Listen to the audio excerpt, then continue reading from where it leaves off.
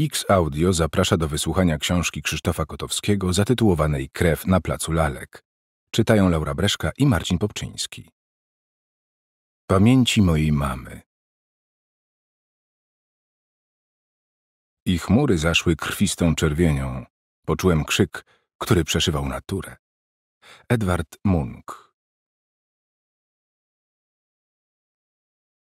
Nad niewielką rzeką, przy mostku ze starych kamieni, gdzie trawa wyrosła wysoka. Miękka ziemia pod trawą wydała mu się zdradliwa niczym bagienna, ledwie zastygła skorupa, która dopiero zaczęła pękać. Patrzył tempo, wciąż w to samo miejsce, jak kaleki manekin wyrzucony poza bezpieczne schronienie na zimną, mokrą od ulewnego deszczu łąkę, bez końca na horyzoncie. Błotnista, zapomniana droga, wycięta między dzikim, nieforemnym, zgniło-zielonym polem, dobiegała do gęsto porośniętego po brzegach strumyka starym kamiennym mostkiem, długim na cztery, może pięć metrów. Ciało chudego, przerażonego człowieka przeszywały potworne dreszcze. Buty niemal zupełnie przesiąkły wodą, na co nie zwracał już teraz najmniejszej uwagi. Wciąż powoli się cofał. Pod mostkiem niknęło światło – za to wzmagał się szum wody opływającej kamienie.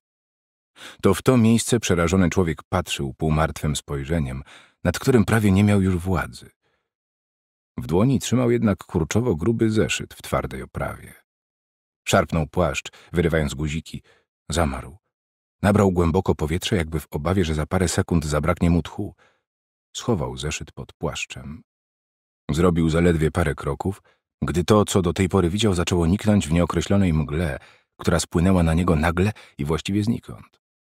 Upadł miękko na trawę. Mostka nie stracił z pola widzenia do końca.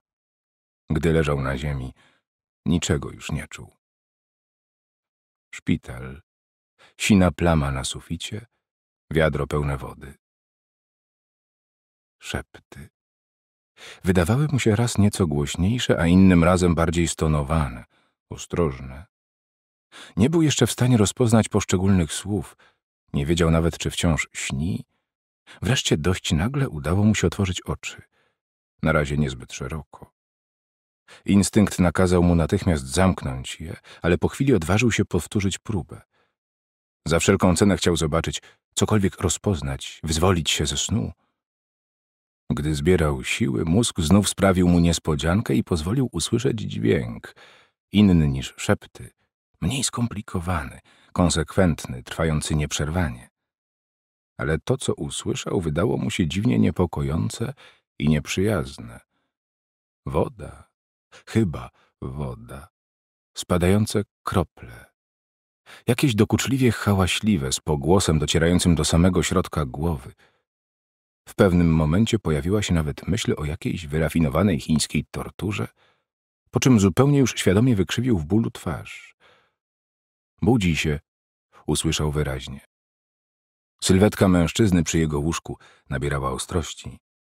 Nad jego głową w rogu między dwiema ścianami a sufitem była sinawa plama, z której co pewien czas krople wody skapywały do wiadra.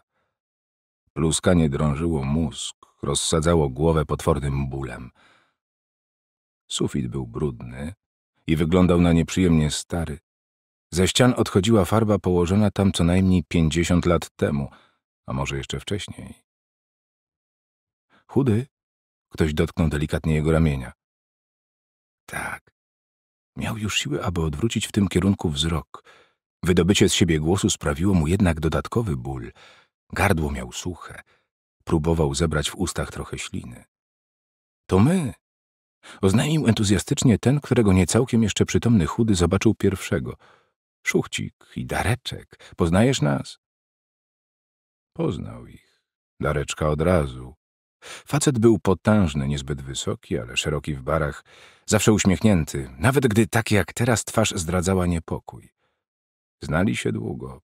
Od pierwszego dnia roboty. Szuchcik przyszedł do wydziału później, z żoli Boża chyba. Był tak drobny jak on, ale dawał sobie radę. Dobry kolega, uczciwy, uczynny, Głowa, szepnął chudy. Boli? spytał Dareczek. Tak. Wody chcesz? Albo wódeczki, mamy trochę. Szuchcik ostrożnie rozejrzał się dookoła. Co to jest? Wyszeptał wciąż z trudem chudy. Co? spytał Dareczek. Gdzie jesteśmy? To. Co to jest? Szpital. Zapyziały, kurewsko i wiochowaty, ale dupy fajne w pokoju pielęgniarek. No nic, nieważne. Zabieramy cię stąd, do naszego. Tu z komuny nie wyszli chyba jeszcze. Zdrowego by wykończyli. Zaśmiał się głośniej, ale szybko przycichł, wymieniając spojrzenia z szuchcikiem. Choć szpital był skromny, tę niewielką salę zarezerwowano tylko dla jednego chorego. Dareczek, gdy już się w miarę uspokoił, widząc, że z kolegą nie jest tak źle, jak wyglądało na początku, usiadł na krzesełku przy łóżku. Szuchcik cały czas stał z drugiej strony. Mniej się uśmiechał i trudniej go było, szczególnie teraz, wybić z zamyślenia. Wpatrywał się w chudego, przymrużając powieki.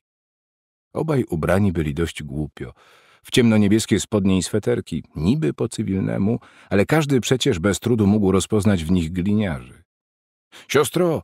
— zawołał Dareczek w stronę uchylonych drzwi. — Wody trochę, albo herbatki jakiejś chłodniejszej można? W progu stanęła kucharka, rozwożąca zwykle posiłki. — Siostra przyjdzie zaraz. Kompot z obiadu może być jak trzeba — wychrypiała dziwnie niskim tonem. — Przynieść, panie poruczniku? Kiwnęli głowami. Kucharka zniknęła za drzwiami.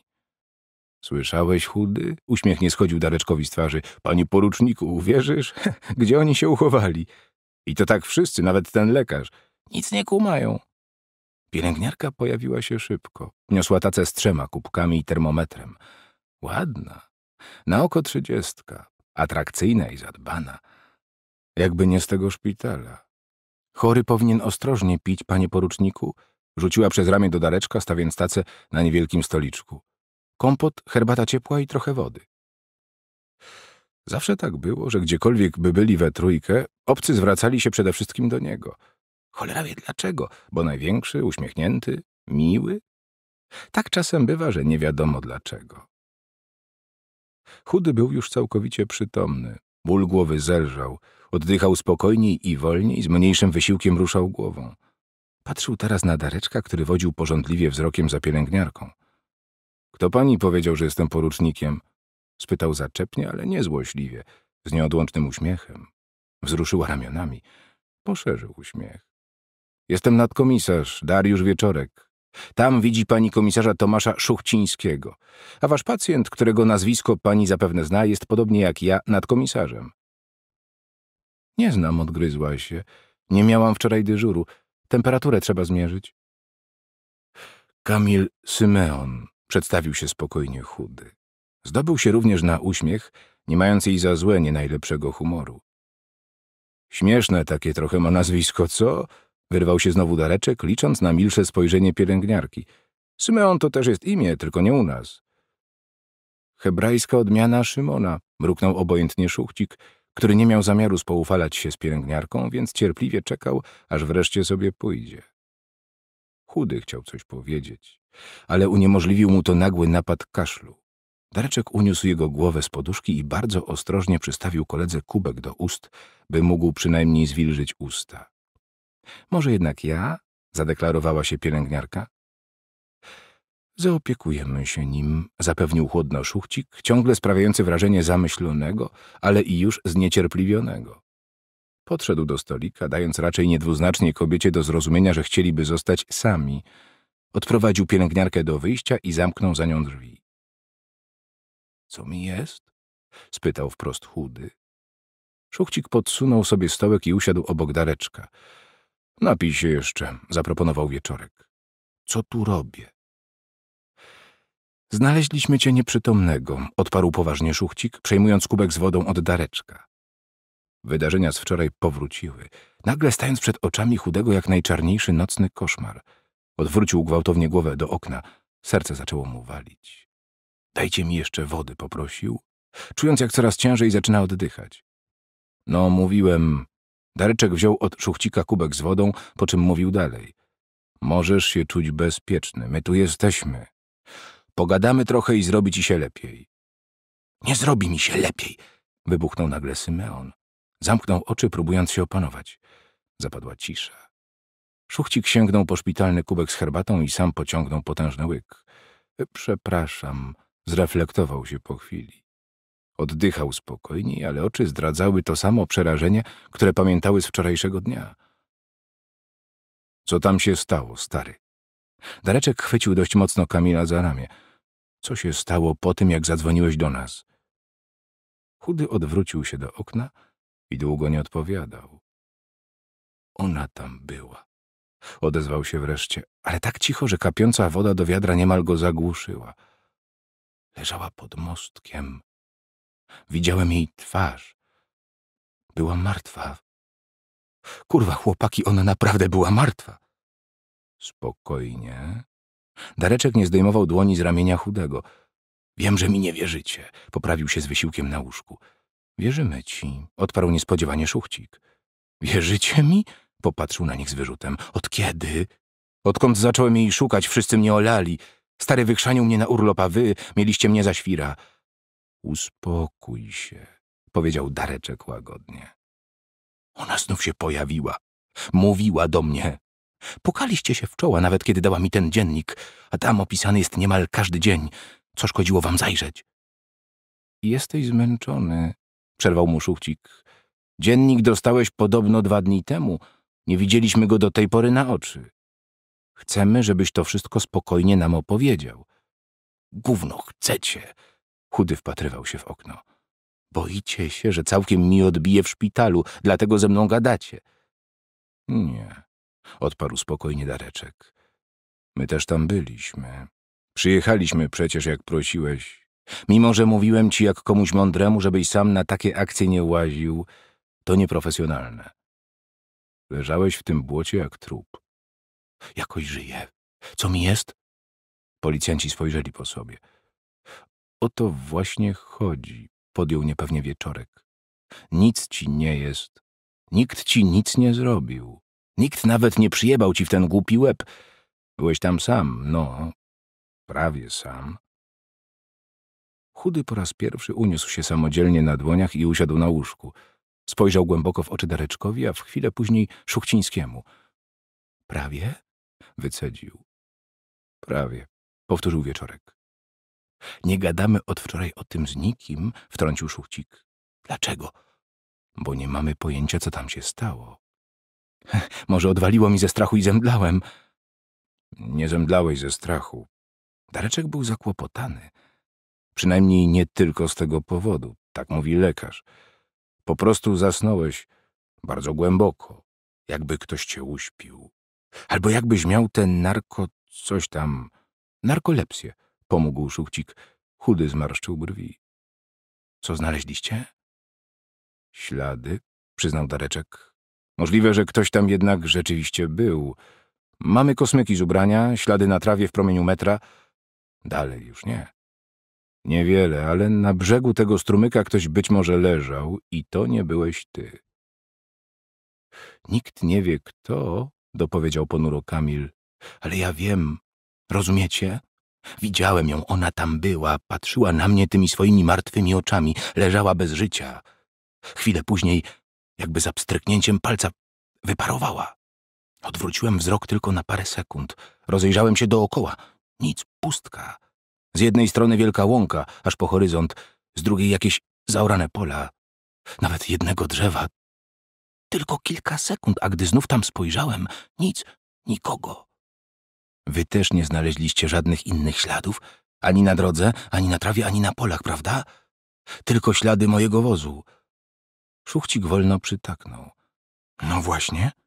Nawet jeśli ktoś ją zrzucił z samolotu, to jak połowę jej ciała wcisnął pod mostek? A potem, jak ją zabrał z powrotem? Niemal na moich oczach, nie pozostawiając po sobie najmniejszego śladu. Tylko kosmyki po jej ubraniu. I po co? Chciałem, żebyście wreszcie zobaczyli, dlatego zadzwoniłem. Miała tam być i była. Nie wiedziałem tylko, że tak się wszystko skończy. Zbadałeś ją? Sprawdziłeś puls? spytał Szuchcik. Nie zdążyłem. A więc nadal gówno wiesz, zakończył chłodno komisarz. Chudy opadł na poduszkę. Zleciliście badania? spytał spokojniej.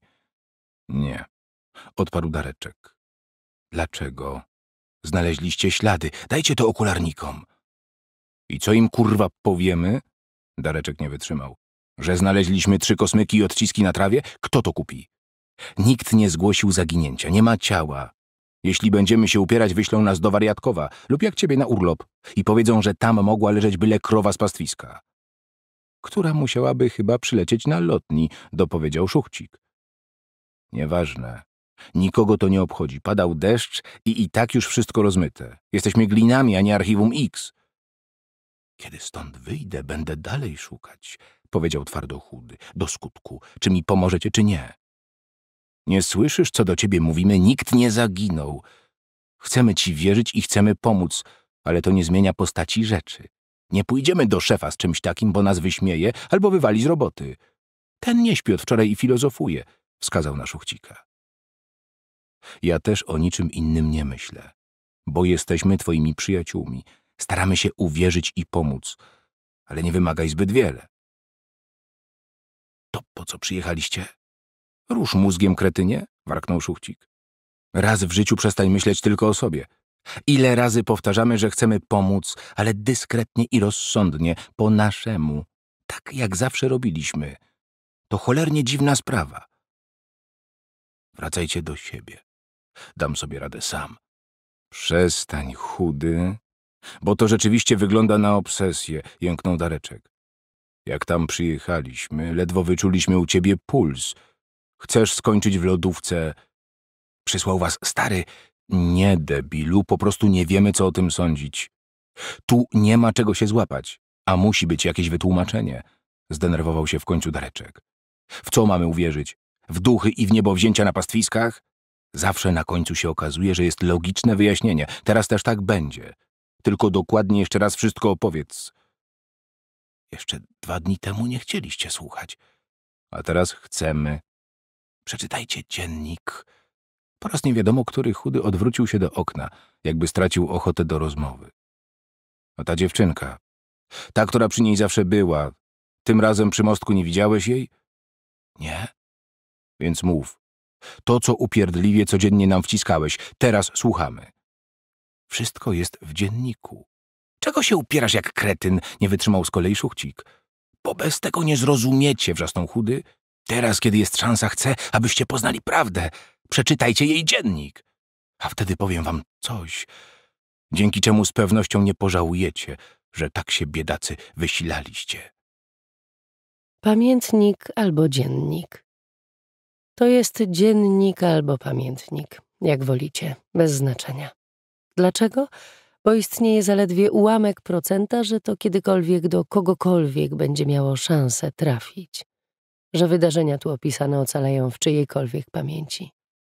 Nie wiem, skąd czerpię nadzieję, że przynajmniej ułamek z tego przetrwa. Cholerny dziennik czy tam pamiętnik. Żebyście mieli choć mgliste pojęcie o tym, o czym ja teraz już wiem. Postanowiłam wszystko spisać. Jeszcze wtedy nie wiedziałam dlaczego. Z jakiegoś powodu kupiłam zeszyt i zaczęłam notować. Codziennie, dokładnie. Aż powoli doszłam do tego, co właściwie na początku wydało się niewyobrażalne.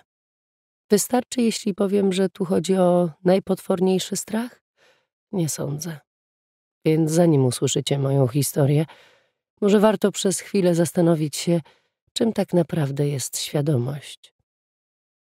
Czy samo posiadanie jej jest równoznaczne z tym, że kiedykolwiek się urodziłeś, czy kiedykolwiek umrzesz lub umarłeś? Czy miałeś, jak wszystko, swój początek?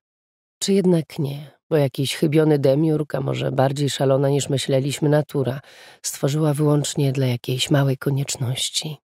Nieuniwersalnej, lecz pozornie zespolonej z istotami podobnymi do ciebie, wyłącznie dla spełnienia konieczności.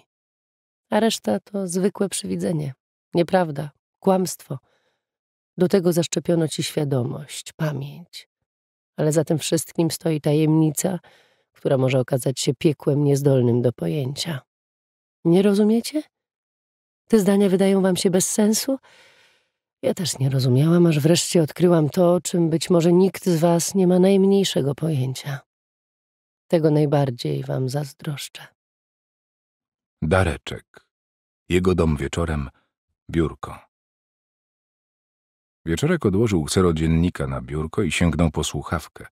Wystukał numer, po czym chwilę poczekał, aż szuchcik odbierze. Czytasz to? spytał bez wstępów. Tak. To jakiś nonsens. Kobieta jest albo była niespełna rozumu. Szuchcik westchnął głośno. Na razie brzmi kretyńsko, ale za mało wiemy. Trzeba przeczytać do końca. Może ktoś nas wszystkich po prostu wkręca? Po cholerę. Tyle zachodu? Taki gruby dziennik? Ta kobieta istniała, może nawet istnieje. Tak musimy założyć. A wtedy mamy morderstwo albo uprowadzenie. A, nie odbija nam, jak chudemu? może. Masz oryginał? Przeglądałeś dalej? Tak, pamiętasz jak gadaliśmy o tych przerwach, kiedy kopiowaliśmy? No, po każdym większym fragmencie zostawiała dużo wolnego miejsca, jakby chciała jeszcze coś później dopisać. Może jakiś komentarz, może coś, co sobie później przypomniała. Na moje oko dużo tych miejsc wypełniła właśnie w ten sposób. To, co teraz czytamy, z pewnością napisała na końcu. Sporo kartek jest zabrudzonych, niektóre fragmenty są czyste, jakby notowała w innym, spokojniejszym miejscu. Zachowały się przyklejone kawałki jakichś traw, drobinki ziemi, kurzu, nawet zaschnięty komar – z chęcią dałbym to okularnikom. Chcę wiedzieć, gdzie ten dziennik był pisany i kiedy. W którym miejscu jesteś? Na początku. Dalej też plecie Androny? Sam przeczytaj. I wiesz co? Oby to były Androny. Jestem pewnie trochę dalej niż ty, a już zdążyła mnie przestraszyć. Wierzysz w tej brednie? Nie, ale wierzę w jej strach. A chudy jest naszym przyjacielem. Do tej pory stał na nogach mocniej niż Piłsudski na pomniku i co? Wygląda jak wrak. Od lat widywał trupy, grzebał się w brudnych sprawach, był mocny. Więc mam kilka małych pytanek. Co tutaj tak cholernie go wystraszyło? Dlaczego zachowuje się jak paranoik? Dlaczego ma obsesję na punkcie tej kobiety? Kim jest dziewczynka z jego opowiadań i co się z nią stało? Bo jeśli ona także jest prawdziwa, trzeba zacząć jej szukać. Tym razem Dareczek głęboko nabrał powietrza do płuc. Zamknął na chwilę oczy. Sprawdzałeś w szpitalu? Spytał wreszcie, trochę uciekając od tematu. Leży podobno spokojnie, nie szaleje. Chłopcy dyskretnie go pilnują. To dobrze. Bardzo dobrze.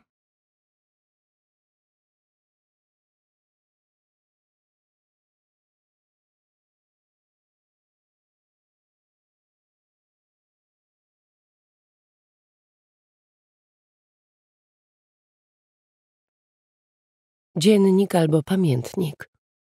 Na podłodze. Obudziłam się, kiedy było już jasno. W ustach miałam piasek i tynk z podłogi, na której leżałam. Sporo wypiłam poprzedniego dnia, ale jakoś nie miałam kaca. To kretyńskie, a jednak ubiegłej nocy chlałam wódkę z jakimiś menelkami ubranymi w śmierdzące, nieprane od tygodni łachy. Nie miałam pojęcia, kim były. Poznałam je kilka godzin wcześniej w parku, kilkaset metrów stąd. Brzydka, zniszczona kobieta w moim wieku z sińcem na policzku oraz jej kumpela. Siwa, starsza, z niezauważalną szaramą nad okiem. Włamałyśmy się do pałacu niszczącego od lat. Jednego z najpiękniejszych, jakie w życiu widziałam. Zrujnowanego przez 200 lat smutnej historii tego kraju, komunistów, wreszcie brak środków na renowację. Całość jest własnością potomka arystokratów, których niegdyś stąd wypędzono. Tyle przynajmniej się dowiedziałam. Facet nie ma pieniędzy, ale stara się o dofinansowanie. Teraz to pijalnia dla przybłędów, jak moje wieczorne towarzyszki i chyba ja. Z zewnątrz pałac wygląda jakby rezydowały w nim staromodne, dekadenckie wampiry z okolic Londynu albo Paryża. Ponury, zaskakujący architektonicznie, zniszczony, ale w całości. W stylu raczej anglosaskim, zupełnie nie nawiązującym do polskich tradycji jakby go żywcem przeniesiono z zachodu Europy. Niespokojny, gwałtownie spadzisty dach, z którego wyrastają dziesiątki wieżyczek z okienkami różnej wielkości. Obdrapane mury mają kolor brudnej, pożółkłej bieli. Z tyłu jest imponujący wielkością park. Miałam cały poprzedni dzień, aby wszystkiemu się przyjrzeć. Kilka godzin, by czegoś sensownego się o pałacu dowiedzieć. W 1939 hitlerowcy świętowali tu kapitulację Warszawy. Jakieś 200 lat wcześniej w tym miejscu rodził się Michał Kleofas Ogiński, autor znanego poloneza. Nic mnie to nie obchodziło. Najważniejsze, że kilka lat wcześniej widziano tu moją córkę. Tak przynajmniej powiedział mi wynajęty jeszcze w Warszawie detektyw. Dlatego przyjechałam. Jej śladów szukałam, a nie historii, a już z pewnością nie wódki z menelami. Nie znalazłam nic. Fałszywy trop. Wieczorem telefon detektywa nie odpowiadał. Byłam zmęczona. Miałam dość. Zaczepiły mnie. Zaczęłyśmy gadać. Wiecie jak, kobieta z kobietami. Kiedy uniosłam głowę, dziewczynka stała nade mną. Wtedy po raz pierwszy ją zobaczyłam. Była ubrana w tanią, białą sukieneczkę w brązową kratę, granatowe rajstopy, białe, stare buciki. Włosy miała w takim nieładzie, że przestałam się martwić o swoje. Moje spodnie i ulubiona skórzana kurtka utytłane były w rozkruszonym tynku, który pokrywał podłogę. Poodpadał ze ściany i utworzył kilkumilimetrową już warstwę twardego pyłu rozdeptanego przez tutejszych bezdomnych, rzadziej przez ciekawskich turystów. Mieszkasz tu gdzieś? Spytałam trochę zła, że gapi się na mnie, kiedy jestem w takim stanie. Pokręciła głową. Wyplułam tyle tynku, ile zdołałam i rozejrzałam się dookoła, szukając bez sensu zresztą źródła jakiejś wody. Tylko idiotka szuka czynnego kranu w opuszczonym, zniszczonym pałacu, grożącym zawaleniem się, ale trzeba być mną, by zasnąć w nocy w towarzystwie dwójki nieznanych sobie, śmierdzących na kilometr brudem i lepkimi od chciwości łapami łachmaniar. Oczywiście wszelki ślad po mojej torbie zaginął. Nie dbałam o ciuchy. Gorzej z pieniędzmi. W kieszeniach nie zostawiły mi nawet chusteczek do nosa. I tak szczęście, że w ogóle miałam na sobie ubranie. Ile masz lat? Spytałam kontrolnie małą, próbując otrzepać się z całego tego cholerstwa. Otworzyła usta, usiłując coś powiedzieć, ale usłyszałam tylko głośniejszy oddech. Siedem? Podpowiedziałam. Zaprzeczyła. Osiem? Tak. Powiedziała wolno, jakby musiała wygrzebać to z głębokiej pamięci. Była przestraszona. Rozglądała się z niepokojem dookoła, dreptała w miejscu. Siku ci się chce? Spytałam, notując w myślach z zadowoleniem, że po pierwszym słowie, które wypowiedziała, uśmiechnęła się nieśmiało. Niem. Odparła, ale wyczułam w tym pewien wysiłek. Co tu robisz? Przybrałam groźniejszy wyraz twarzy. Pomóż mi, wyszeptała, zaskakując mnie totalnie. W czym? Gdzie mieszkasz? Daleko. Co? Gdzie twoi rodzice, opiekunowie, ktokolwiek? Daleko. Wciąż czułam w ustach resztki tynku i byłam rozdrażniona. Nie miałam kompletnie nastroju na zabawę z niezbyt bystrym dzieciakiem. Zwalił mi się na głowę w najmniej odpowiednim momencie. Chodź odprowadzę cię na policję. Burknęłam niecierpliwie, wyciągając do niej rękę. Może tam będą mieli czynny kran z wodą. Nie! krzyknęła znienacka. Mimowolnie cofnęłam się o krok. Spokojnie, mała. Przyjrzałam się jej dokładniej. Chyba trochę za młoda jesteś, aby podpaść gliną. Odczekałam chwilę. Mam rację? Nie uciekłaś chyba z domu jak moja córka. Nie wiem, dlaczego to powiedziałam. Ona miała dopiero cholerne osiem lat. Nie. No to wyluzuj, byłam wczoraj na tutejszym komisariacie. Nie gryzą. Jeśli się zgubiłaś, znajdą twoich rodziców. Pomóż mi, powtórzyła. Znów miała w oczach strach. Ktoś ci kazał tak mówić? Nie wytrzymałam. Gwałtownie zaprzeczyła ruchem głowy. Dobrze, że nie masz zbyt długich tych loków, bo w takim stanie żaden prysznic by im nie pomógł. Skomentowałam z pewną troską w głosie. Miała jasne włosy, ledwie sięgające za ramiona. Brudne jak cała ona. Jak masz na imię? Przeszłam do konkretów. Ju, ja, ju, bąkała z wysiłkiem. Julia? Pomogłam. Zaprzeczyła. Justyna? Ku mojej uldze potwierdziła. Nie była zbyt lotna. Jeśli ledwo zdołałam dowiedzieć się, jak ma na imię i ile ma lat, z pewnością nie dam rady wydusić od niej, gdzie mieszka. Podjęłam jednak ostatnią próbę. Przypomnij sobie, jak się tu znalazłaś. Chcę odprowadzić ciebie do domu. Pomóż mi. Już to mówiłaś, właśnie pomagam. Spróbuj choć trochę mi podpowiedzieć, gdzie mieszkasz. Daleko. Okej. Okay. Koniec dyskusji. Wzięłam ją za rękę i wciąż plując cholernym tynkiem wyszłam, ciągnąc ją na zewnątrz. Znowu czekała mnie wizyta na policji. Który to już raz w ostatnim miesiącu? Komisariat. Policjant porośnięty mchem. Małe okno. Posadziłam dzieciaka na ławce w pomieszczeniu, które robiło za poczekalnię. Zwykle w komisariacie jest jakaś bramka z krat, gliniarz w okienku, który pyta o co chodzi i decyduje, czy ciebie wpuścić. Tutaj nikt niczego nie pilnował. Wchodziło się jak do przychodni dentystycznej, siadało na krześle lub na przytwierdzonej do podłogi ławce i czekało, aż policjant z za drzwi poprosi następnego. Jak w kolejce do zwykłego urzędasa. Nieważne, czy przyszłaś tu, bo ci ukradli torebkę, czy dlatego, że masz dziurę w głowie. Musisz odsiedzieć swoje. Wczoraj to przerobiłam. Dziś już nawet nie klełam, ani się nie oburzałam. Posadziłam gówniarę, sama opadłam ciężko obok niej i rozejrzałam się dookoła, jakbym tu była pierwszy raz. Poczekalnia miała kształt kwadratu o przekątnej około 10 metrów.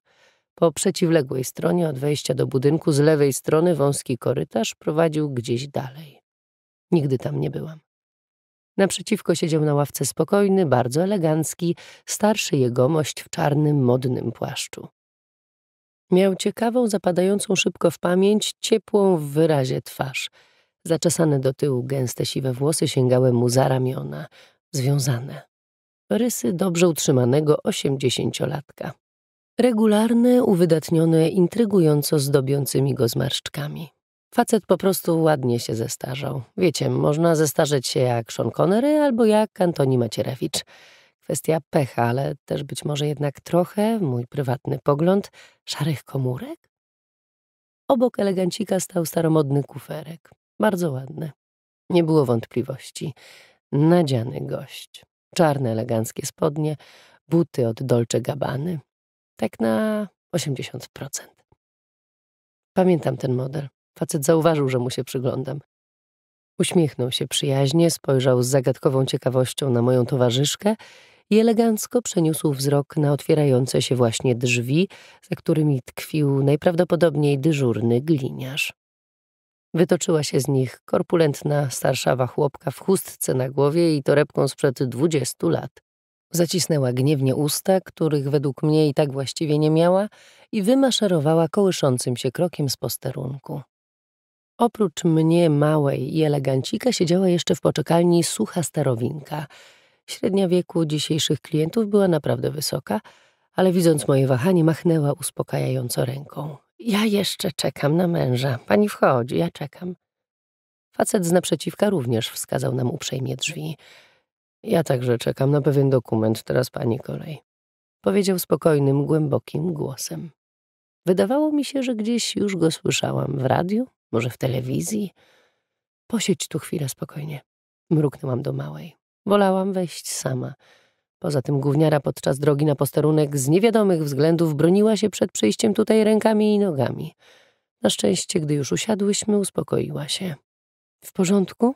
spytałam. Justysia, pamiętacie, takie podała imię, kiwnęła głową. Co za ulga, przemknęło mi przez myśl. Może skłodowska Kiri z niej nie wyrośnie, ale przynajmniej od czasu do czasu współpracuje. Wstałam i weszłam bez pukania.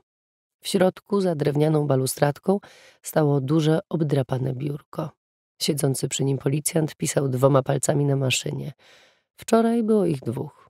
Ze mną gadał niewysoki, chudy, chyba starszy sierżant, dwa V na pagonach, tak zwanym średnim wieku. Po drugiej stronie wspomnianego biurka siedział wiecznie pokasujący, łysy grubas, właśnie ten, który teraz nawet nie zwrócił uwagi na to, że się pojawiłam. Dzisiaj był sam. Przypominał mi mojego bardzo nieprzystojnego nauczyciela chemii z ogólniaka sprzed dobrych kilku lat. Gliniarz zamiast policyjnego mundurka miał na sobie ciepłą bluzę koloru leśnej trawy. W pokoiku było tylko jedno, w dodatku niewielkie okno. Światło padało na gliniarza tak, że miałam wrażenie, jakby w niektórych miejscach na plecach był porośnięty młodym mchem. Takim ledwie zieleniejącym się tuż nad ziemią. Bluzę miał nieprzyjemnie myśliwską, za to przyjemnie puszystą, miękką i ciepłą. Z zieleni wpadała miejscami w ciemny brąz. Stąd pewnie to dziwaczne wrażenie z tym mchem. Moment, niech pani poczeka. Policjant tylko na chwilę na mnie zerknął, po czym wrócił do wystukiwania, jak mi się wydawało, podsumowania spotkania z babiną, która właśnie stąd wybyła. Nie wygonił mnie, ale nie przeszkadzało mu, że stoję tu jak kołek, podczas gdy on nieśpiesznie modził meldunek o mojej poprzedniczce. Są takie miejsca w tym kraju, które w pewnym momencie zatrzymują się, nie chcąc się zmieniać, iść z biegiem czasu, chociażby dla przyzwoitości. Tutaj szafa na wysoki połysk, tudzież pasujące do niej jak ulał biurko, skrzypiąca klepka jak z blokowisk wielkiej płyty czy nieśmiertelna urzędnicza balustradka, tkwiły bez wstydu w ciemnawym pokoiku przyjęć wiejskiego komisariatu. Jak sądzę, od czasu, kiedy polityczną modą kierował towarzysz Edward. Również pan policjant swoją posturą, elegancją oraz manierami idealnie pasował do obrazka, niespecjalnie dbając o kompleksy wobec swoich wielkomiejskich kolegów. Nie przeszkadzał mu brak komputera, drukarek czy samochodu innego niż Polones przed komisariatem – nie przeszkadzały mu brud, brak światła ani ciasnota. Pewnie trochę przeszkadzałam mu ja, ale ludzi tego pokroju, jak myślę, życie hartuje jako mistrzów kompromisu. Policjant porośnięty mchem godził się na swoją dolę, swoje miejsce w życiu, na panią w babcinej chustce, swoją pięćdziesięcioletnią maszynę do pisania i akurat dzisiaj na mnie. W takim właśnie miejscu chciałam opowiedzieć funkcjonariuszowi o tym, że mnie okradziono, przypomnieć, że szukam dziecka, ale nie tego, z którym przyszłam, bo tego akurat chcę się pozbyć. Słucham? Zaczął bez wstępu gliniarz. Byłam tu wczoraj. Przypomniałam, mając nadzieję, że biorąc pod uwagę zawrotne tempo tutejszego życia, będzie mnie kojarzył. Przecież stałam jak teraz przy tej chybotliwej balustradce zaledwie kilkanaście godzin temu. Rozmawiałam z pana kolegą. Siedział na pana miejscu. Pani nazwisko? Maria Chorodecka przez CH. O co chodzi? Powtarzam panu, byłam tu wczoraj. Szukam córki, która zaginęła pięć tygodni temu. Doniesiono mi, że widziano ją w tej wsi. Jesteśmy miastem. Słucham? Jesteśmy miastem, powtórzył policjant. Mamy prawa miejskie od siedemdziesięciu lat. Wspaniale, pogratulowałam. Ma pan na pewno meldunek z mojej wczorajszej rozmowy z wami. Pamięta pan? Nie. Byłam tu wczoraj wieczorem. Powtórzyłam nie wiem który raz. To nie było tak dawno temu. Nie pamiętam tego przesłuchania. O co chodzi? Wkurzył mnie. Mógłby pan sprawdzić wczorajszy dzień? Przecież sporządzacie meldunki.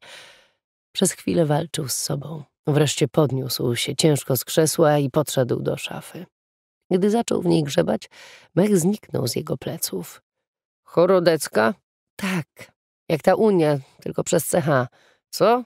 Nieważne, chorodecka. Jeszcze przez chwilę grzebał w dokumentach. Wreszcie odwrócił się w moją stronę. Nie ma takiego meldunku. Podsumował dość obojętnie. Niemożliwe. Widziałam, jak pana kolega pisał. Notował to, co mówiłam. Gdzieś to musicie mieć. U nas nie giną dokumenty, a meldunku o pani obecności nie widzę. Ale był pan tu wczoraj? Byłem i nie pamiętam pani. Proszę wreszcie zeznać, o co chodzi. Nabrałam głębiej powietrza do płuc, ale postanowiłam nie robić awantury. Za drzwiami miałam brudnego, zgubionego przez kogoś dzieciaka. Przepadła mi torba podróżna z forsą, a moją córkę od wczoraj ktoś mógł jednak gdzieś w okolicy zobaczyć. Jest kolejka, proszę się streszczać, przypomniał uprzejmie funkcjonariusz. Mam kilka spraw, szukam zaginionej córki. Jak dawno zaginęła? Przerwał. Ponad miesiąc temu. Gdzie pani mieszka? W Warszawie. To tam proszę zgłosić. To nie nasz rejon. Wiem, że to nie wasz rejon. Doniesiono mi, że widziano ją tutaj. Kto tak powiedział? Wynajęty przeze mnie detektyw. Jego nazwisko? Nieważne, nie jest z waszego rejonu. Nie wytrzymałam. Pytam o niewysoką szesnastolatkę, brunetkę, krótkie włosy, twarz okrągła, ładna, niebieskie oczy. Nazwisko detektywa. Powtórzył gliniarz monotonnie, jakby w ogóle mnie nie usłyszał. Zamknęłam na chwilę oczy. Pan Piotr, cholera, wyleciało mi z głowy. To konieczne? Nie zna pani nazwiska detektywa, którego pani zatrudniła? Mam zapisane w swoim notesie. Był w torbie podróżnej, którą mi skradziono. Zaraz sobie przypomnę. Jestem zdenerwowana. Skradziono? Tak, dzisiaj w nocy. Chce pani to zgłosić? Już to zrobiłam wczoraj, ale powtórzę. Zrobiła to dwójka tutejszych włóczęgów, to znaczy kobiety. Dwie włóczęginie. Nie wiem do cholery, jak to się odmienia. Jeśli to włóczędzy, włóczęginie, to nie może pani stwierdzić, że są stąd. Nie mają miejsca zamieszkania. Zwykle są bezdomni. Mówiły mi, że są stąd. Mówiły? Zdziwił się. Nawiązała pani z nimi kontakt? Tak, stąd moje podejrzenia. Widziała pani kradzież? Nie, zasnęłam, to znaczy... Ugryzłam się w język, ale chyba za późno. Gdzie pani zasnęła? Nawet się ożywił. W parku, skłamałam. Byłam bardzo zmęczona, a kiedy się obudziłam, zauważyłam, że moje rzeczy osobiste zniknęły. I te włóczy, ginie były wtedy w pobliżu? Tak. I podejrzewa je pani. Ale nie może mieć pewności. Nie widziała pani kradzieży? Spuściłam bezradnie głowę. Mogę podać ich rysopisy, może chociaż sprawdzicie. Dojdziemy do tego. W jaki sposób znalazła się pani w parku? Od miesiąca szukam mojej zaginionej córki. Ponieważ istnieje podejrzenie, że ją tu widziano, rozglądałam się, chodziłam po okolicy, byłam tutaj. Na komisariacie? Tak, mówiłam przecież. Nie było pani tutaj. W przeciwnym razie pozostałby meldunek. Jak to nie było mnie tutaj? Dobrze pamiętam, pan też tu był. Siedział pan na tym krześle, widział mnie pan. Nie pamięta pani nawet nazwiska człowieka, który tu panią skierował. Zwykle mówię do niego, panie Piotrze. Nazwisko chwilowo wyleciało mi z głowy. No dobrze, westchnął. Co było dalej? Kiedy się obudziłam, stała nade mną dziewczynka. Pewnie jest z tej okolicy, poprosiła o pomoc. Jest tutaj ze mną, przyprowadziłam ją, żebyście się nią zaopiekowali. Jeszcze inne dziecko? Inne niż kto? Przyjechała pani szukać swojego dziecka, znalazła pani inne dziecko i teraz chce je pani tu zostawić? Tak, wiem jak to brzmi, ale piła pani alkohol. Co? Czy w czasie ostatnich 24 godzin piła pani alkohol? Jestem trzeźwa. To wykaże badanie alkomatem. Zgadza się pani na badanie? A niby dlaczego mam się na to zgodzić? Ponieważ podejrzewam panią o to, że jest pani nietrzeźwa. Jeśli dalej chce pani zeznawać, musi pani udowodnić, że nie piła alkoholu w ciągu 24 godzin. To nie Iran, w tym kraju wolno pić alkohol. Przypomniałam panu władzy. Nikt nie ma prawa mnie zmuszać do żadnych badań. Nie zmuszam pani, odparł spokojnie. Pouczam tylko, że nie mogę odbierać zeznań od osoby nietrzeźwej. A wszystko wskazuje, że jest pani pod wpływem alkoholu. Co mam do cholery zrobić z tym dzieckiem? Niemal krzyknęłam. Którym dzieckiem? Tym z parku! Znowu zwiesiłam bezradnie głowę. Nie wierzył mi. Sama bym sobie nie uwierzyła. Byłam zdenerwowana, rozkojarzona, brudna. Czułam w ustach smak starego tynku. Mówiłam nieskładnie, chaotycznie i chyba nielogicznie. James Bond by się w tym wszystkim pogubił, a co dopiero burak z przedpotopowego posterunku. Facet patrzył teraz na mnie jak na wariatkę i szukał w swojej wiochowatej głowie jakiegoś rozwiązania. Może opowiem jeszcze raz e, spokojniej. Chwyciłam się ostatniej deski ratunku. Jak na złość zadzwonił do niego telefon. Odebrał, powiedział słucham i słuchał. Potem nic nie mówił, tylko pomrukiwał potakująco, po czym odłożył słuchawkę i przeniósł na mnie wzrok. Gapił się tak przez pewien czas, jakby myślał nad wyrokiem, który właśnie za chwilę miał ogłosić. Mogłaby pani poczekać przez kilka minut na korytarzu? Spytał po dłuższej chwili dumania. Mogę. Od razu zadecydowałam. Ale da mi pan to jeszcze raz powiedzieć w nieco bardziej przystępnej formie? Zobaczymy. Proszę poczekać w poczekalni. W porządku, poczekam w poczekalni, ale jeszcze tu wejdę, okej? Okay? Potrzebuję pomocy, rozumie pan? Rozumiem. Spławiał mnie. Proszę teraz opuścić pokój przesłuchań. Poczekalnia. Człowiek bez ręki. Kiedy wyszłam z klitki, którą gliniarz nazwał pokojem przesłuchań, Mała siedziała obok wciąż tkwiącego w poczekalni elegancika. Ku mojemu zaskoczeniu rozmawiali w najlepsze, a gówniara była tak ożywiona, jakby znała faceta od lat. Mam nadzieję, iż nie gniewa się pani, że zaopiekowałem się przez chwilę Justysią. Powiedział dobrotliwie, kiedy do nich podeszłam. Teraz dopiero zwróciłam uwagę, że nosił czarne rękawiczki. Lewą rękę miał całkowicie nieruchomą. Ponad wszelką wątpliwość nosił protezę. Jak widzę, zdążyła się przedstawić, zauważyłam zgryźliwie. W rozmowie ze mną szło to bardziej topornie. Poznała ją pani niedawno, prawda? spytał spokojnie. Dlaczego to pana interesuje? Nie miałam ochoty być uprzejma. Uśmiechnął się i ledwo zauważalnie skłonił. Była w nim starodawna klasa dżentelmena, kultura wyssana z mlekiem matki.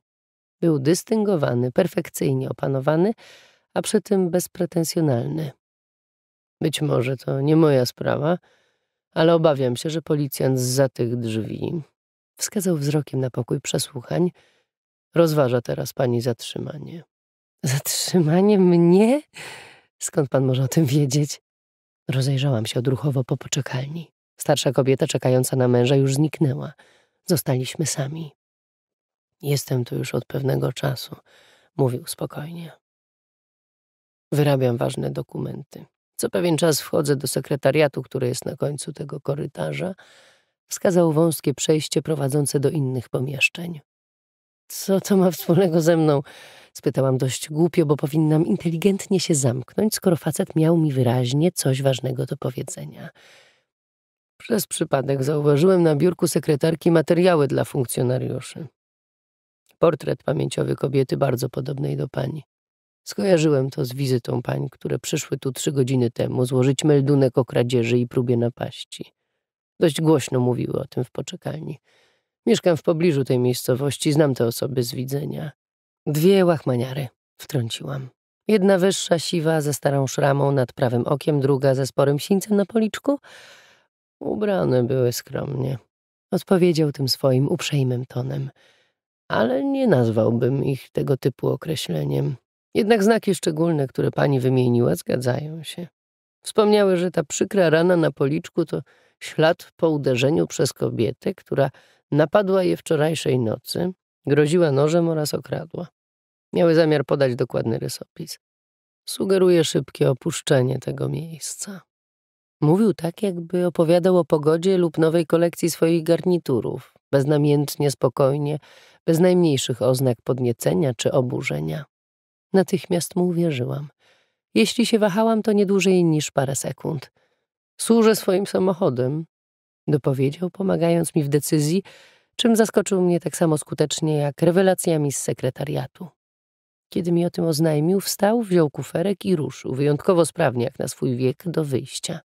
Niewiele się zastanawiając, na ile wpadam z deszczu pod rynny, wzięłam małą za rękę i podążyłam za nim. Mimo wszystko spodziewałam się mniej kłopotów ze staroświeckim, dystyngowanym, nieco ekscentrycznym, ale wzbudzającym zaufanie siedemdziesięcioletnim dżentelmenem, niż z tutejszymi glinami gotowymi uwierzyć dwóm zawodowym oszustkom.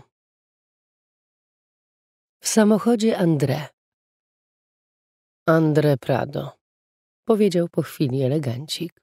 Wyjechaliśmy z podwórka, przy którym stała rudera robiąca za komisariat i ruszyliśmy szosą na zachód. Mam nadzieję, że pani mi wybaczy, iż nie przedstawiłem się wcześniej. To pretensjonalnie brzmiące w tych stronach imię jest dziedzictwem po moim włoskim ojcu. Choć większość życia spędził w tym kraju, chciał, by syn zawsze przypominał mu skąd pochodzi. Jeśli jednak nie stanowiłoby to problemu, proszę mówić mi po prostu André. Mimo kalectwa prowadził bardzo sprawnie – Siedziałyśmy na tylnym siedzeniu wiekowej lanci, doskonale utrzymanej, obitej wewnątrz miękkim, szmaragdowym materiałem, z pewnością na zamówienie i z pewnością dość dawno temu. Dlaczego pan nam pomaga, Andre? Spytałam wprost. Odniosłem wrażenie, że wersja rzekomo napadniętych pań w sposób oczywisty odbiega od prawdy. Niestety nie sądzę, by moje zdanie podzielał dyżurujący dzisiaj funkcjonariusz. A pańskie dokumenty? Proszę się o to nie martwić. Odparł spokojnie. To długotrwały proces. Od dwóch dni spędzam bezcenny czas w tamtym miejscu i mniej więcej co godzinę, czasem dwie, jestem proszony do sekretariatu w celu, jak to ujęto, uzgodnienia kolejnych danych. Nie sądzę, aby załatwiono dzisiaj wszystko, o co prosiłem. Sprawa wymaga nie tylko komunikacji z wieloma miejscami w Polsce, ale także z rodzinnym krajem mojego ojca, a komunikacja, jak zapewne się pani domyśla, nie jest najmocniejszą stroną tutejszych służb. Nic się nie stanie, jeśli chwilę na mnie zaczekają. Co teraz? Czułam się bezradna. Sugeruję obu paniom, jakby to ujął mój ojciec, ablucję. Mam nadzieję, że zgodzicie się skorzystać z mojej gościnnej łaźni. Ciepła kąpiel bywa inspirująca. Być może po niej warto będzie powrócić do zadanego przez panią pytania. André przypominał mi zagubionego w dzisiejszym świecie posągowego dżentelmena z manierami XIX-wiecznego lorda. Jakbym ożywiła w wyobraźni jedną z postaci z książek mojej matki. Zakochanej bez pamięci w klasyce, bolejącej swego czasu mniej lub bardziej otwarcie nad moją raczej hipisowską mentalnością. Umiałam jednak w swoim czasie sprawiać matce radość korzystaniem z jej zbiorów, pochłanianiem książki, by później niestety zdecydowanie zawrócić z drogi, którą przygotowali dla mnie rodzice. Ona i przedwcześnie zmarły ojciec.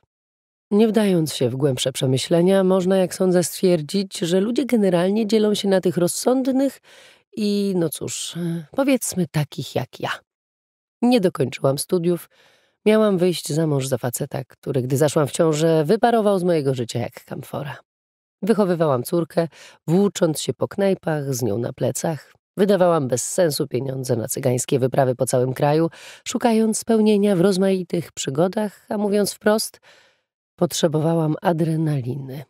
Pracowałam dorywczo, oczywiście najczęściej w spelunach wypełnionych wódą, czasem w przydrożnych barach, kiedyś nawet w przypływie rozsądku, w górskim schronisku i to przez cały niemal sezon. Martyna dorastała wśród moich licznych, choć często zmienianych przyjaciół, zwykle tego samego pokroju. Przyciągałam ludzi chorych na to samo co ja, uparcie stojących w miejscu, wypełniających czas pustymi balangami, odurzających się byle czym, aby tylko nie myśleć o jutrze. Moje dziecko obserwowało z bliska, jak w większości marnują swoje życie, bądź dumni z własnej niezależności pogrążają się w hipokryzji. Etykietki z butelek po wódce Martyna znała i rozpoznawała lepiej niż własne lalki, które kupowałam jej często, mimo że opiekowała się nimi bez przekonania. Gdy miała dwanaście lat, wpadła do jeziora z jachtu, na którym spała nieprzytomna z przepicia.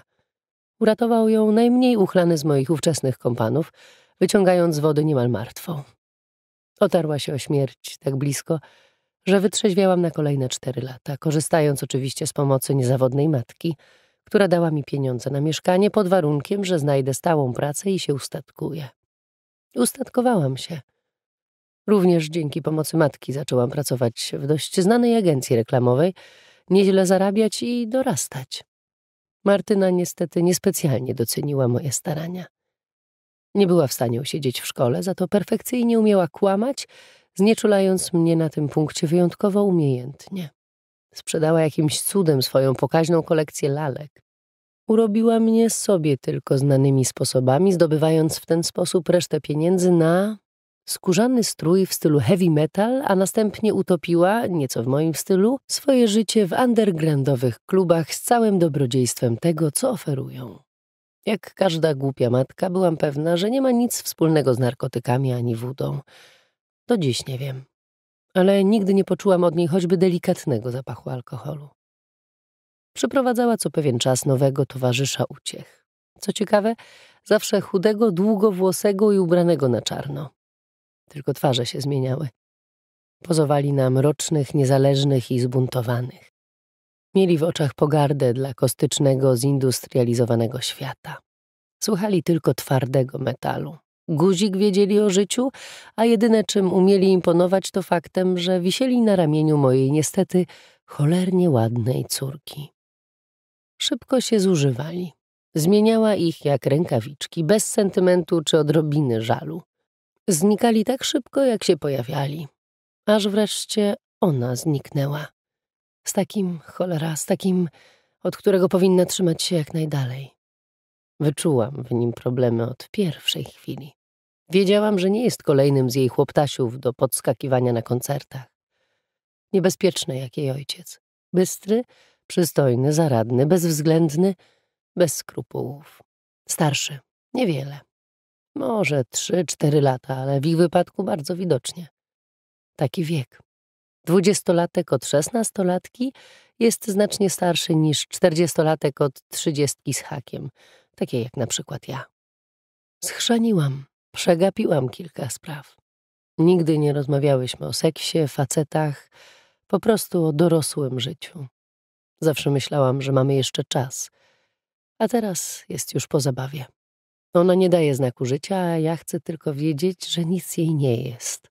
Dlatego jej szukam. Więc jeśli wciąż się dziwisz ty, co to czytasz, dlaczego wylądowałam w samochodzie nieznanego, dziwacznego, starszego mężczyzny, który przecież mógł być seryjnym mordercą, zboczeńcem, cholernym, rudobrodym czy innym pedofilem, amatorem dziewczynek takich jak przytępawa Justysia, to już teraz wiesz. Ludzie dzielą się na rozsądnych i takich jak ja. Bajkowy dworek André Drzwi zanurzone były w soczystej, leśnej zieleni w tak gęstym płaszczu z liści, że trzeba było odgarniać końcówki gałęzi, aby dostać się do środka. Drzewa oplatały niezwykłej urody dworek w sposób trudny do opisania. Konary kładły się na niemal całym dachu, zaglądały końcówkami klonowych i dębowych gałęzi do okien, a porośnięte bluszczem ściany dopełniały całości niesamowitego, zdumiewającego widoku. Dom André, choć trudno w to uwierzyć, ginął w ścianie lasu. Tylko gdzieniegdzie przezierały niewielkie fragmenty białych, a w niektórych miejscach ciemnobrązowych ścian, ozdobnych, stylowych i z pewnością bardzo wiekowych okiennic czy kolumn przy wejściu. Jak ogromnie bogatej trzeba było wiedzy i wyobraźni architekta sprzed lat, by umieć oddać przyrodzie to, czym człowiek zwykle ją niszczył. Pogodzić dwa rywalizujące ze sobą światy ten, który wyrasta z dzikiej, wolnej natury, oraz przeciwny mu symbol ekspansji i władzy człowieka. Nasz gatunek nigdy nie umiał inaczej. Zabraliśmy dla siebie na zawsze pełne pierwotnego życia tereny, by pobudować tam miasta z betonu, asfaltowe drogi, cholerne fabryki. Zabijaliśmy i zabijamy, by zaspokoić głód, ale i by mieć z tego chorą radość. Nie umieliśmy zamieszkać z innymi czy podzielić się tym, co planeta podarowała wszystkim. Świat urządziliśmy tak, że biadolenie w stylu, który wam właśnie opisuję, brzmi w naszych czasach groteskowo. Zamieszkać w lesie? Wśród innych zwierząt? Bez narkotyków takich jak wielkie kariery, polityka, wynalazki, komputery? Nonsens. A jednak ekscentryczny, tajemniczy, pełen czarującej elegancji starszy pan – umiał znaleźć z dala od zgiełku dymiących miast swoje miejsce. A las przyjął go jak swojego. Do dworku prowadziła prywatna, kilkusetmetrowa droga bez asfaltu. Odchodziła od głównej szosy, którą jechaliśmy kilka kilometrów. André w swoim dwustumetrowym domu w głębi lasu mieszkał sam. Wystrój i ogólny charakter salonów, pokojów gościnnych, kuchni, łaźni i toalet był taki jak on sam. Enigmatyczny, stylowy, niekiedy zaskakujący. Dużo drewna i drugiego kamienia. Zabytkowe, utrzymane w ciemnych barwach szafy, komody, stoły, a nawet łóżka. Ani jednej pamiątki myśliwskiej, żadnego futrzaka z martwego zwierzęcia, żadnej broni na ścianach. Gospodarz oprowadził nas po domu na moją zresztą prośbę i to zanim udostępnił nam swoją, co tu dużo kryć, wypasioną do granic możliwości łazienkę. Zaproponował także odświeżenie naszych ubrań w pralce, na ten czas przygotowując odpowiednie szlafroki, nie tylko dla mnie, ale, co szczególnie dziwne, także dla małej. Wyjaśnił, że oba należą do jego wnuczek, czterech, które przyjeżdżają tu kilka razy w roku. Najstarsza skończyła dwadzieścia lat, najmłodsza osiem. Odniosłam dziwne wrażenie, że wszystko, co działo się przez ostatnią godzinę, było zbyt proste. André znalazł się akurat w odpowiednim miejscu o odpowiednim czasie. Przypadkiem dowiedział się, że policja chce mnie aresztować. Ryzykował, oferując pomoc. Wpuścił obcych ludzi do swojego domu i, jak się pewnie zaraz okaże, zaproponuje obiad. Gadał z małą, jak ze swoją wnuczką, a w łazience samotnego ekscentryka już czekają dwa damskie szlafroki pasujące na nas jak ulał. Nawet jak na mój gust, to było zbyt szalone, ale biorąc pod uwagę opłakaną sytuację zarówno dzieciaka, jak i moją, musiałam mu zaufać. Szczególnie, że pamiętałam, jak spędziłam poprzednią noc. Poradzisz sobie z całymi tymi złotymi kranami i nonsensownie wielką wanną? Spytałam małej, gdy zostałyśmy w łazience same. Mm, potwierdziła poważnie. Odkręciłam wodę w umywalce i wreszcie dokładnie wypłukałam usta i umyłam twarz. Umiesz się sama wykąpać? Upewniłam się na wszelki wypadek. Tak! Była oburzona, uśmiechnęłam się z ulgą. Jak to było? W tym kranie jest mydło, w tym szampon. Przypomniałam najważniejsze produkty instrukcji obsługi łaźni, chociaż gospodarz uprzejmie nam to już objaśnił. A w tym hmm, chyba płyn do kąpieli. Pokazywałam po kolei, ale napotkałam w spojrzeniu małej tylko zniecierpliwienie. Proszę już sobie iść, powiedziała nagle i zmarszczyła brwi. No, milutka jesteś, ale nie oponowałam. Wyszłam. André siedział w obszernym fotelu w głównym salonie. Za jego plecami wbudowany w ścianę ekskluzywny barek przyznam, że robił wrażenie. Na dość sporym, choć niewysokim stoliku stały zimne napoje oraz herbata, o którą poprosiłam wcześniej. Gdy weszłam, wskazał mi fotel naprzeciwko. Podobnie jak w całym domu, tu także panował półmrok. Czułam się niezręcznie. Mimo wszystko wciąż byłam brudna, a on wyglądał jakby właśnie wyszedł ze sklepu z garniturami. Miał na sobie czarnego Armaniego fresko i marynarkę, na której, nie wiem jak to zrobił, nie odcisnęło się żadne wgniecenie. Gdy zdjął płaszcz, wyglądała jakby przed chwilą ją włożył. Ciekawe, że pamiętałam z pracy tę akurat kolekcję dość dobrze. Obsługiwaliśmy klienta, który wprowadzał na polski rynek nową linię, choć model garnituru André nigdy do naszych sklepów nie trafił. Znałam go wyłącznie z prezentacji całości i doradziłam zresztą klientowi, aby te propozycje, jak i kilka innych odrzucił ze względu na cenę. Pani jest zawodowcem. Bardziej stwierdził, niż zapytał kolejny raz mnie zaskakując. Patrzył mi teraz prosto w oczy. Zrezygnował z przesadnie oficjalnego tonu, którym raczył nas do tej pory i postanowił nieco chyba skrócić dystans. Był w tym teraz równie naturalny jak i poprzednio, ale postanowił, jak sądzę, nieco przystosować się do mojego sposobu bycia, o ile w ogóle w jego przypadku było to możliwe. Z zawodowcem? spytałam, mając nieodparte wrażenie, że blefuje. Odpowiedział tajemniczym uśmiechem. Po dłuższej chwili ciszy dałam się przekonać. Armani Fresconero z tego roku.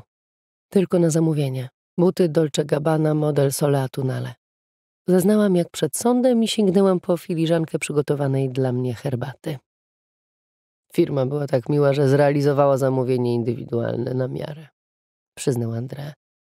Zwykle są tak mili, gdy zamawiamy u nich garnitur warty niemal tyle, ile samochód. Rozbawiłam go tą uwagą. Uśmiechnął się teraz otwarcie, unosząc szklankę ze swoim drinkiem, jakby wznosił toast. Nie spodziewałam się jego dobrego humoru. Nie wiem, jakim cudem pan odgadł, czym się zajmuję. To, jak teraz wyglądam, temu przeczy. Mówiąc szczerze, jestem zakłopotana. Chlipnęłam z filiżanki, niezbyt zadowolona z własnej otwartości. Proszę mi wierzyć, niepotrzebnie. Będę zobowiązany opatrzności, jeśli uda mi się ugościć panią w taki sposób, aby choć na chwilę zapomniała o kłopotach, niezależnie od tego, jaka jest ich waga. Nie wiedziałam, co odpowiedzieć. Zerknęłam odruchowo w stronę łazienki. Proszę się o nią nie martwić. Uspokoił mnie. Da sobie radę, jest bardzo inteligentna.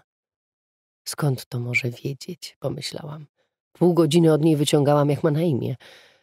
Znam ją od niedawna. Zaczęłam ostrożnie.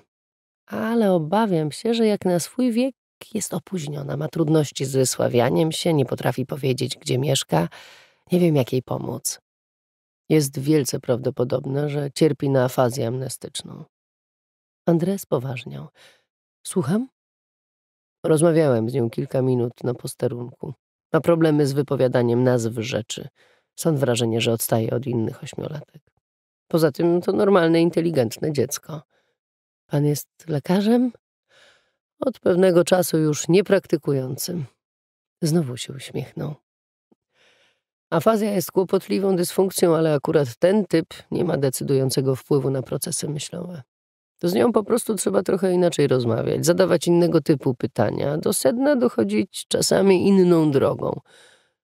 Nie mam możliwości zajmowania się nią teraz. Rozłożyłam ręce. Poznałam ją dzisiaj rano. Usiłowałam namówić policję, aby się nią zajęła. Po to przyszłam na posterunek. Teraz muszę wymyślić coś innego. Ona jest jak pani. Wyważony wzrok André zdawał się mówić więcej, niż wtedy umiałam zrozumieć. Zgubiła się, ale być może umie pojąć znacznie więcej, niż to by wynikało z pierwszego wrażenia. A może nawet umie pani pomóc? Nie ma pan pojęcia, André, w jakich jestem kłopotach. Nie wytrzymałam. Oczywiście. Pokiwał głową. Mogę tylko zgadywać. Na przykład? Na przykład, że być może jest pani wewnątrz kompletnie inną osobą niż ta, którą w ostatnich latach musiała się pani stać. Że jeszcze trzy, może cztery lata temu pani życie było bardziej prawdziwe? Że coś się wtedy stało? Coś ważnego, może tragicznego? Co uczyniło z pani odtwórcę nie tej roli, w której czuje się pani prawdziwie wolna i autentyczna? Jest pani ekspertem w dziedzinie autokreacji. Mody? Nauki mojej matki, odparłam ze zdumieniem. To ona była znaną modystką. Ja dzięki jej znajomościom zaczęłam tylko pracę w prestiżowej agencji reklamowej. Planuję kampanię i doradzam w sprawach wprowadzenia na nasz rynek kolekcji zagranicznych. Zwykle młodzieżowych, ale i czasem także tych poważniejszych, od potężnych kreatorów. Zależy od klienta. Tak naprawdę niczego sama nie osiągnęłam. Do dziś radzę się matki w trudniejszych sprawach, ale nie w sprawach córki. Na Boga, skąd pan o tym wie? To tylko moje przypuszczenia. Od Justysi wiem, kogo pani szuka. Wszystko to było coraz bardziej dziwne. Ona niezbyt się w tym wszystkim orientuje, powiedziałam niemal szeptem. Ale może rozumie więcej, niż byśmy się tego spodziewali.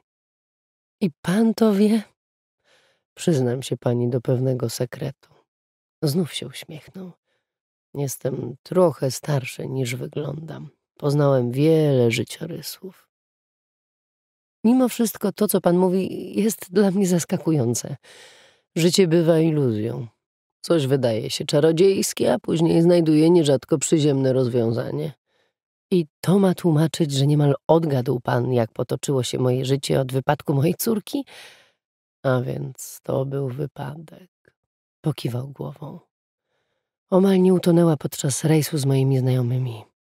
Nie mam pojęcia, dlaczego się przed nim otworzyłam. Rozumiem. Szepnął.